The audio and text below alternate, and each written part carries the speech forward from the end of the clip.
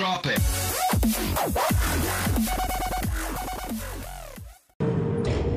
Power up the bass cannon.